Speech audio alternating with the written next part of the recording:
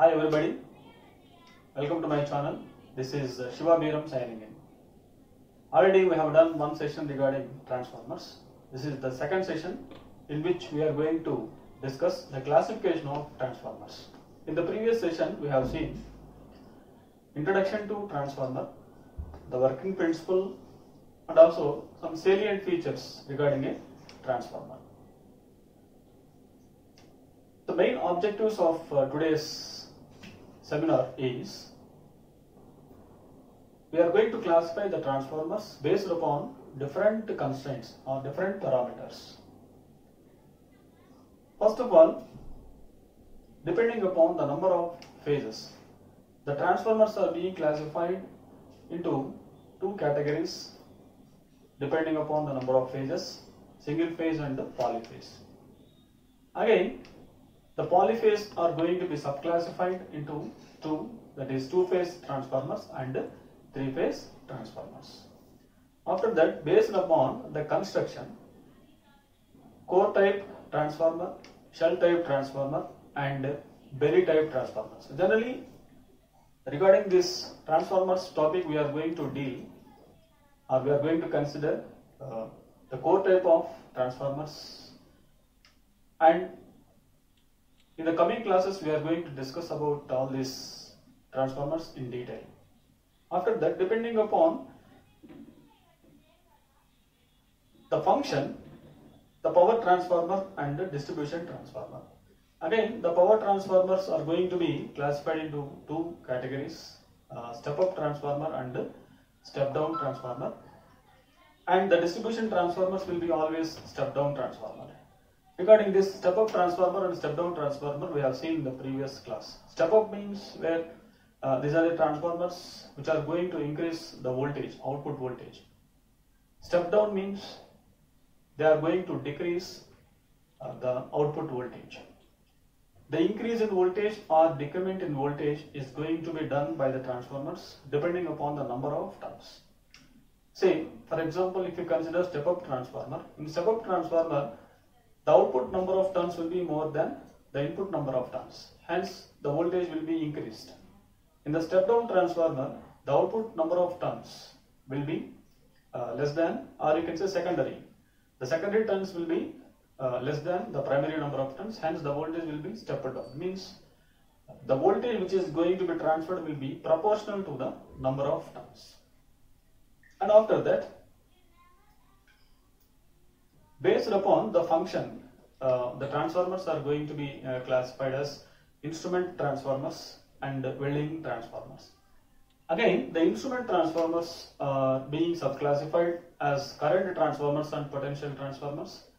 The current transformers are nothing but uh, these are mainly used uh, where we are going to measure the large currents in the lines, transmission lines. Similarly, the potential transformers are used in order to measure the higher uh, uh, magnitudes of voltages. And after that, depending upon the number of windings, single winding transformer and multi-winding transformer. Single winding transformer uh, is also considered as auto transformer, uh, which is very much essential for us, and uh, it has got so many advantages like uh, copper material saving will be there using auto transformers okay and also the simple uh, portable also like that are the all these things we shall see in the coming classes. And multi-winding transformers uh, here we are going to have basically two winding three winding uh, depending upon the requirement. And based upon the type of cooling. Generally the cooling mechanism mechanism is essential for transformers. The reason why we require cooling it requires cooling is the transformers are going to be subjected to different kinds of losses like uh, core losses, copper losses. Uh, sometimes they are going to be operated at uh, very large loading conditions. They are going to be operated nearly during summer season when all the air conditioners are going to be switched on. they are going to be operated at nearly 150% of the rated load sometimes also.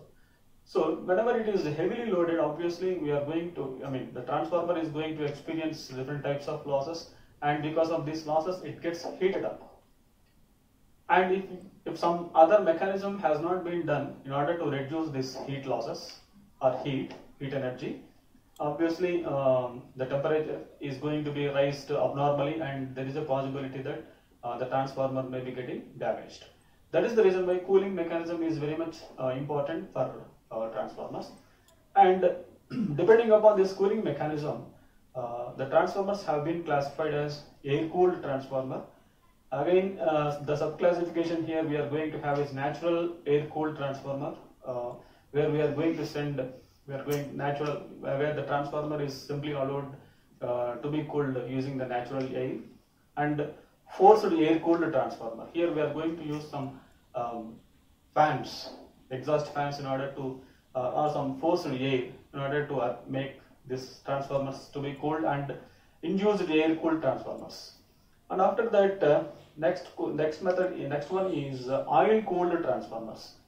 So here, majorly we are going to use uh, uh, the insulating oil, uh, transformer oil, which is um, kept inside the tank for cooling applications, for cooling purpose. Here the subclassification will be oil-filled natural or self-cooled transformer, oil-filled forced air cooled transformer, and oil-filled forced water cooled transformer. So these things we are going to see in detail and based upon the location. So depending upon the location means uh, whether we are going to provide the transformer inside or outside. If it is provided inside, it is known as in, uh, indoor indoor transformer, and if it is provided outside, it is known as outdoor uh, transformer. And based upon the rating, rating means uh, how much kVA or power rating. For low power applications, we are going to use low rating transformer and medium. Similarly, we are going to have medium uh, rating transformer and also high rating transformers. And based upon the frequency, they are going to be classified as low frequency transformers and high frequency uh, transformers like pulse transformers. That's about the classification of uh, uh, transformers. And after that, in addition to this, to, in today's class, I would like to um, tell you why the transformer should be given only AC supply. Why not DC? What will happen if DC supply is given to the transformer? Okay, let me explain you what actually is going to happen when DC supply is given to a transformer. So we know that DC means what? DC means uh, the magnitude of uh, uh, the voltage or current will be constant. So when the current is constant, are, the flux also will be constant and there will not be any change or variation in the flux. So when DC supply is given to the primary side, a constant current will flow through the primary winding. As a result, a constant flux. So there is no change in flux. As a result, what happens? No EMF will be induced in it. When there is no EMF, actually induced EMF is uh, the opposite is the opposite voltage which is being applied to the supply. Because of that only, uh, the primary winding is going to draw very little amount of current. When the opposition is not there, obviously what is going to happen? There is no opposition, hence the large amount of current will flow through the primary winding, uh, which uh, may damage the winding and the essential parts of a transformer. Say for example, let me consider an example here. Say 200 primary 200 volts of DC is given to the primary side. Uh, let us consider the primary winding is going to have a resistance of uh, 1 ohm. When uh, we apply uh, simply the Ohm's law, I is equal to V by R, 200 by 1 will give you 200 amperes, which is very, very large current and uh, there is a possibility that the winding may be getting damaged. So that is the reason it is very important to remember here, the transformers should not be given DC supply so that is the reason it is uh, simply an AC machine, static device. That's all uh, for today's session. Uh, in the next coming videos, I will be explaining uh, so many other things regarding uh, the transformers. And I would be very much delighted if you subscribe my channel, like it and share it. Uh, please click on to the bell icon. Thank you very much. this is Siva Beeram signing off.